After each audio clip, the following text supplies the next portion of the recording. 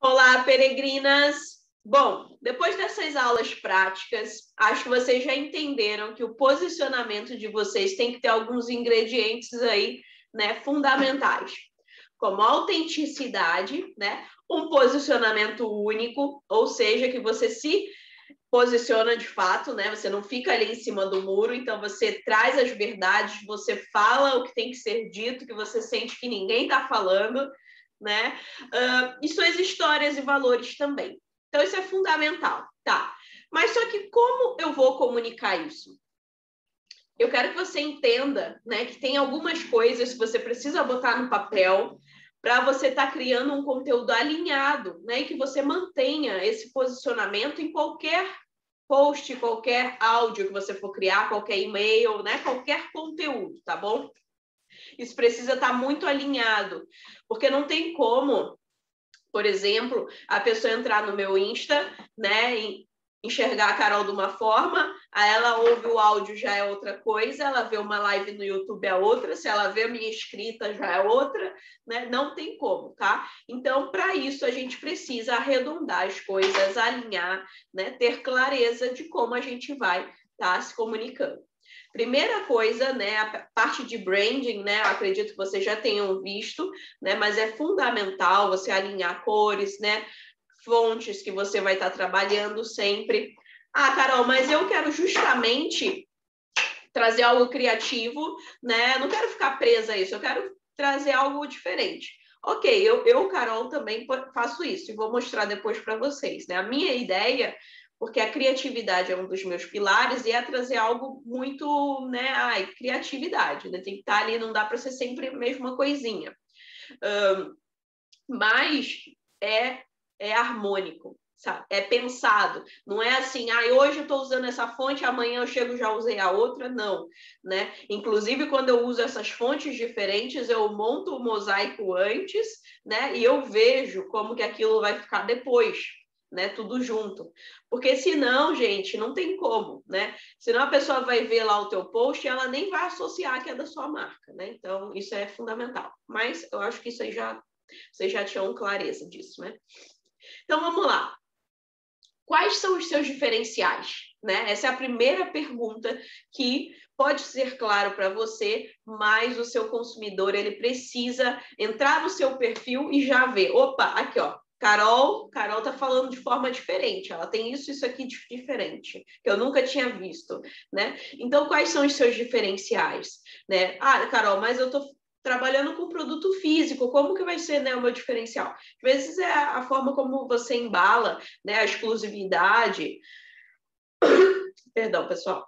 Às vezes você traz né, alguma inovação, é, às vezes você entrega de forma divertida, né, a sua experiência, enfim. Às vezes você trabalha com produtos de qualidade superior, né, produtos ali que são achados, né, que são difíceis de serem encontrados. Às vezes é a sua causa, né, que é o seu diferencial. Então, assim, isso precisa estar comunicado, tá? Isso precisa estar ali é, explícito. Bom, quais são os seus pilares de comunicação, né? Seja por meio do WhatsApp, seja por meio do Instagram, seja por meio do, do próprio e-mail, Telegram, YouTube, né? Quais meios que você vai usar, mas quais que são os seus pilares, que eles vão estar em todos esses meios de comunicação. Como assim, Carol? Eu, Carol, por exemplo, né, falei com vocês ali, a criatividade é algo que eu sempre vou tentar trazer, vocês vão ver, né, que eu vou estar tá usando, seja através de um, sei lá, de um filtro, de um, do sticker, seja através de uma arte que vai estar tá ali mesmo, né, quando tem oportunidade de colocar, né, ou na própria escrita eu vou estar tá trabalhando o texto de uma forma criativa, fazendo analogias ali que ninguém pensou, né? Então, assim, tem inúmeras formas de eu expressar a minha criatividade, né? Um, a humildade, né, que é um outro pilar meu. Meu conteúdo eu quero que ele seja humilde. Então ele vai ter uma linguagem acessível, tá? Independente ali. Eu quero que todo mundo se enxergue nas próprias bandeiras que eu trago. Senso estético para mim é importante, né? Aí tem que ver se para você é também importante. Uh, claro que tem algumas mídias que, por exemplo, o Instagram eu acho que é importante para todo mundo o senso estético. Quando a gente entra, ah, Carol, eu tenho que ter um feed harmônico, eu tenho que ter. Não, necessariamente, tem várias pessoas que não trabalham com feed harmônico, mas a identidade tem que estar tá ali, né? É o que eu falei. Você não precisa ter aquele mosaico, fazer isso, não. Mas a pessoa precisa bater o olho e ver que é um conteúdo seu. E o senso estético, sim. Não dá para eu ter, por exemplo, né, ai, fotos feias, né? Fotos sem qualidade, sem brilho, sem vida, né? Não adianta. A gente primeiro come com os olhos, não é verdade? Então, você tem que pegar assim imagens, se você vai pegar de bancos de imagens, de bancos, né, com imagens profissionais, não é para pegar do Google, imagens com baixa resolução. Se você vai fazer imagens com seu celular, você precisa sim, né, de uma câmera que vai estar uh, tá tirando imagens de qualidade, uma iluminação que vai favorecer suas imagens, isso, gente, é nosso instrumento de trabalho. Não é luxo, tá? Não é bobeira. Isso é é o que vai te destacar no meio de tanto conteúdo ali que a gente tem, né, diariamente. Bom, é, e se você, né, se importa ainda mais, né, se você é libriano, que nem eu, tem aquela preocupação com o senso estético, por mais que não seja sempre, né, mas você gosta de ter um negócio bonitinho ali que, né, te faz bem, então, sim, por que não, né? Se diferenciar já é um jeito de se diferenciar também. Se você tem um conteúdo bonito, né? Que você pode trazer uma arte ali junto, alguma coisa, né? Que já vai diferenciar dos outros. Um, de repente, seu conteúdo, um pilar vai ser a, a inspiração. Seu conteúdo é inspirador, é motivacional, né? Você quer inspirar, você quer fazer que as pessoas, né, se movimentem, saiam da inércia, ou não, ou ah, Carol, eu eu quero trazer leveza, eu quero trazer alegria, eu quero trazer humor, né? O mundo está tão triste, então o humor pode ser também um pilar do seu né, do, da sua comunicação e assim sucessivamente, tá? Claro que cada uma de vocês sabe qual é a diferença que vocês querem fazer no mundo. E com base nisso, né, eu quero que vocês uh, transcrevam isso para a comunicação de vocês, tá? Que isso esteja evidente.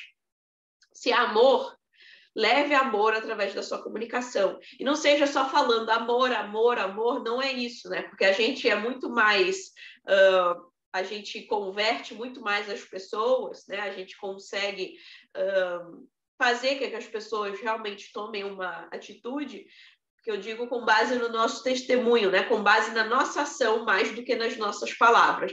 Então, além das palavras, né? Vá além das palavras. A imagem também muito, né? Mas a, na própria o amor, ele não precisa estar só, ah, então tem que encher meu feed de coração. Não, não é isso, né? O amor, né, a doação, você, o amor para mim também é um dos meus pilares, né? Então, através da empatia, para mim é a forma como eu é, expresso o amor, né, para o outro. Então, pense nisso, pense em como você vai levar, né? Quais vão ser esses seus pilares, tá? Outra coisa, né, a linguagem. A linguagem é fundamental tá? Então, vai ser uma linguagem formal? É, Carol, eu, poxa, eu sou assim, eu gosto de falar formal, inclusive o meu, minha persona, né? Ela, ela tem também uma linguagem mais formal, então, para mim, vai ser formal. Carol, não, eu uso linguagem informal. Ok, eu, Carol, uso linguagem informal. Você fala como? Você fala com gírias? Você fala por exemplo, com palavrões, né? Ah, não, Carol, imagina nas redes sociais, não posso fazer isso, né? Sim, tem muita gente que, que fala assim, eu vou inclusive mostrar uns perfis, né, que são referência para mim, né, que são, claro, eu, Carol, por exemplo, no meu dia a dia, eu não falo palavrão, então eu não vou falar palavrão na internet, né, inclusive eu era uma das que ficava falando, né, é, não gosto de palavrão, então, é, para mim vai ser incoerente, mas eu admiro muito quem quem fala, né? Quem, quem é assim também nas redes, né? Então, isso é muito bacana. E claro, você vai atrair a sua tribo, né, que vai se identificar com aquilo. Então, assim, seja até no seu próprio sotaque, né? Então, isso é muito bacana, a gente trazer isso, né, de forma explícita, verdadeira, sabe, autêntica. Uh, a sua linguagem vai ser leve? A sua linguagem vai ser motivadora? Ah, Tá, Carol, mas tem que ser sempre igual? Eu, Carol, por exemplo, vocês vão ver que uma das, uma das coisas que quase todos me falam é que eu tenho a linguagem leve. Ah, Carol, você fala de forma leve, mas não é porque eu falo de forma leve que volta e meia eu não dou os puxões de orelha aqui, né? Que volta e meia eu não falo firme, né? Que eu não tenho pulso, eu tenho que ter. Mas, no geral, a minha forma até de puxar a orelha, muitas vezes, é mais leve, né? Então, eu não tenho um tom, por exemplo, mais agressivo, tá? E, e, você pode ter, se você for assim, se for da sua personalidade, sim, você pode se posicionar de maneira mais agressiva, mais incisiva, tá? É, então, isso que eu quero que você tenha clareza. Tá? Uh, vai ser uma linguagem bem humorada, você quer passar isso para as pessoas, fazer trocadilhos, enfim, né, brincar. Então, também é importante, tá? Vai ser uma linguagem quente ou uma linguagem fria? Quando a gente pensa em posicionamento, a gente tem esses dois lados. Tem que ficar bem claro isso. Sendo da maneira quente ou da maneira fria, você vai ter que dizer as verdades, você vai ter que dizer o que tem que ser dito. Não dá para ficar em cima do muro. Se você fica em cima do muro, você vai ser só mais um ali, tá? Então já esquece essa ideia. Agora, você vai falar as verdades, sem papas na língua, né? Fala como tem que ser dito mesmo e se dane. Não gostou? Sai, né? ou você vai falar as verdades de uma maneira classuda, né? Que aí é o posicionamento frio que a gente diz. Não é que é frio, ah, que é, né, que é distante, mas é que é frio porque uh, não tem aquele fogo, é mais aquela questão mesmo da água mesmo que vai é, tocar de uma forma, água não, né? Do, do frio mesmo vai tocar de uma outra forma, né? É, sem encostar, digamos assim, né? E já quem tem um posicionamento quente não, é muito explosivo, sabe? Então, pensar nisso, tá? Tem uma aula que eu já passei para vocês que eu falo mais disso, né? Mas só para uh, deixar claro aqui para você botar no seu papel, tá? Para você sempre se lembrar, retornar e ver se está né, alinhado, porque pode ser que no meio do caminho você vai se perdendo aí. Então, tenha isso né, como seus pilares. E o apelo visual também, né, gente? É fundamental. Você vai estar tá, uh, usando maquiagem, você vai estar tá usando filtros?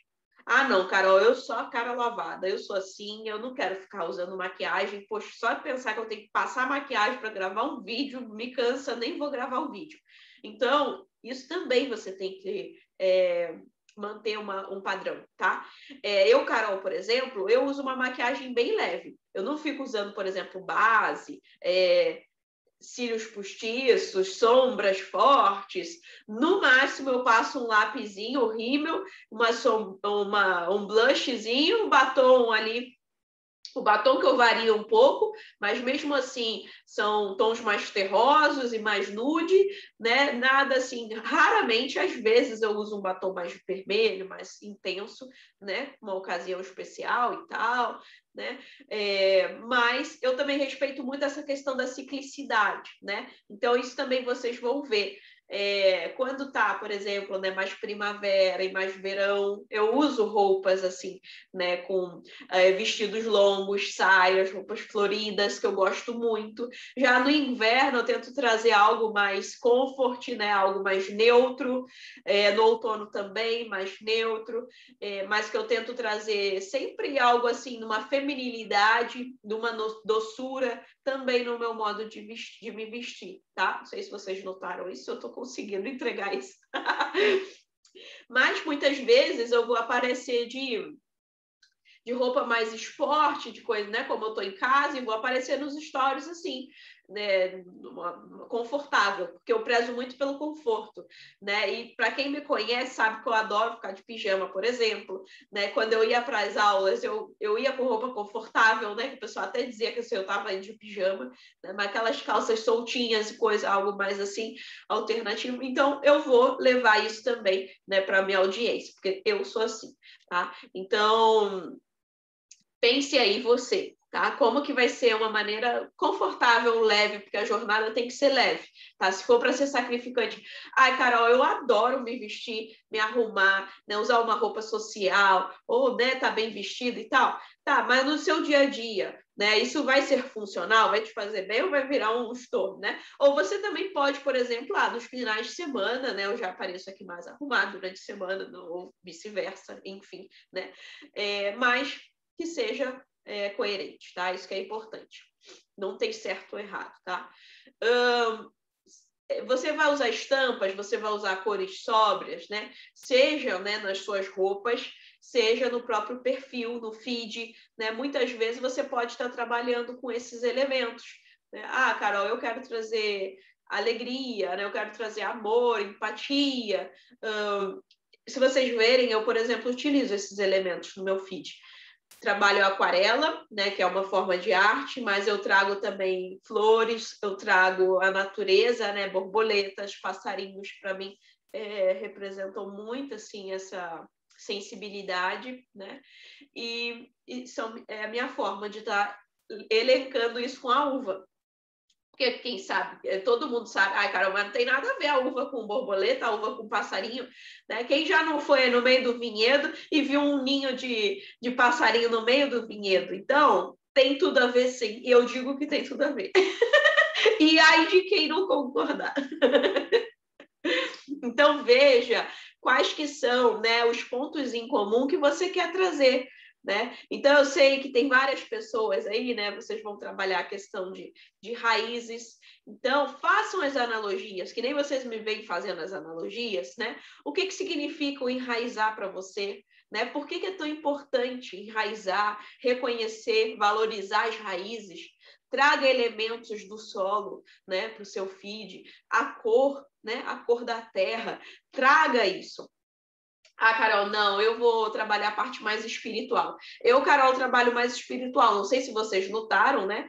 Mas uh, o roxo é a cor da espiritualidade. Eu não gosto do roxo muito intenso, não. Confesso que para mim eu, eu, não acho bonito. Mas o lilás eu gosto.